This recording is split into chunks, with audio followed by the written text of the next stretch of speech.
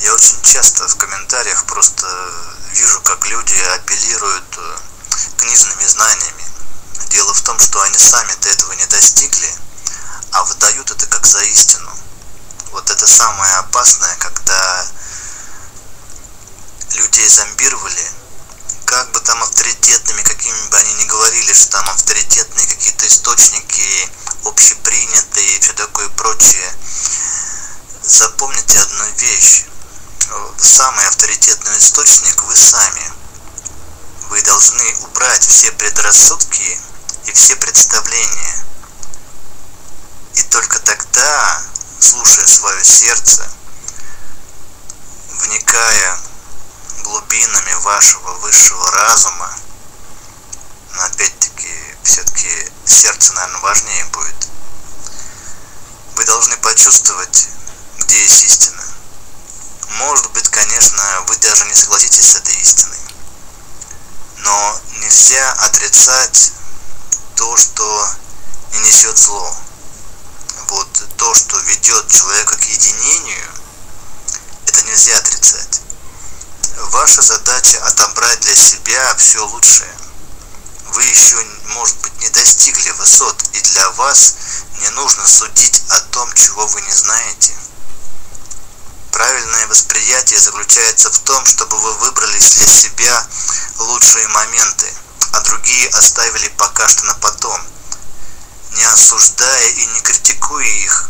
Как вы можете критиковать то, чего вы еще не достигли? Это полная глупость получается. Вы просто себя глупцами выставляете. Поэтому вы просто придерживайтесь своей точки зрения. Придет время, вам откроются какие-то вещи, которые вы не отрицали. Если же вы будете какие-то вещи отрицать, значит вы уже закрываетесь от них, и они не откроются вам. Позвольте тем вещам, которые вы еще не достигли, у вас взрасти в вас.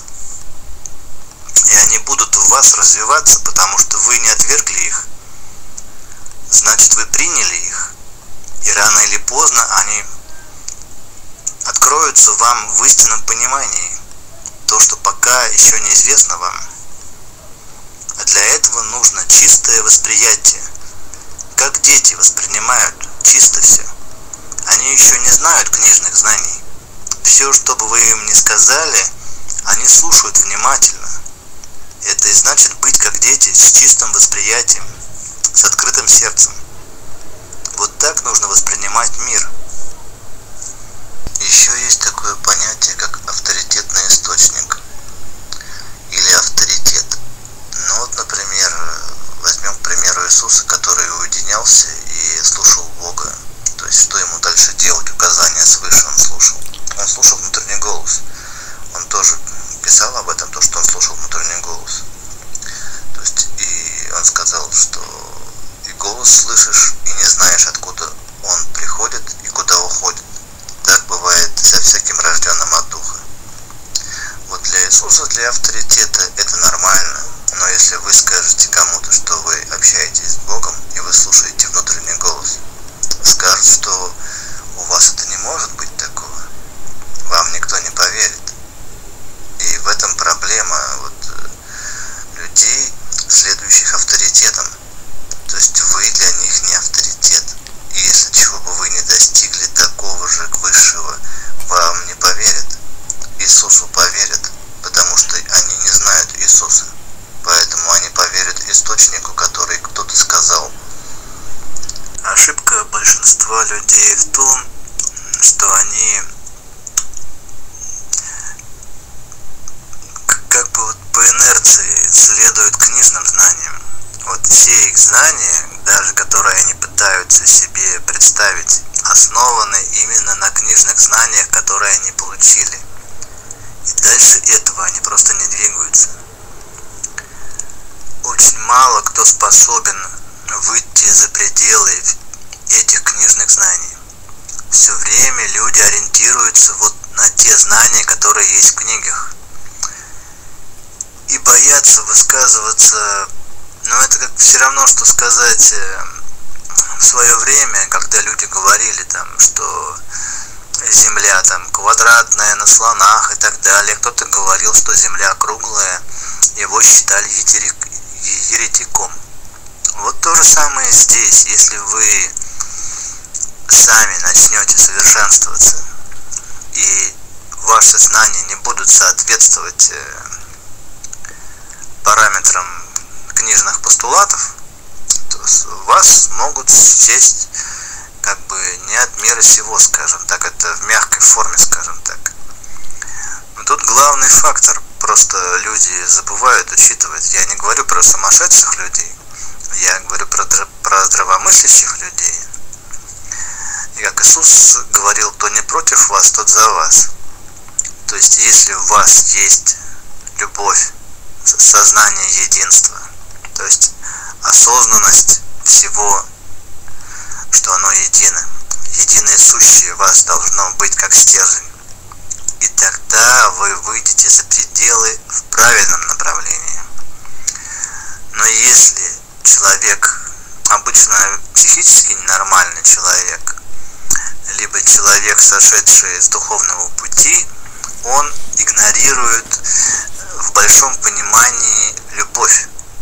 Он игнорирует сознание единства.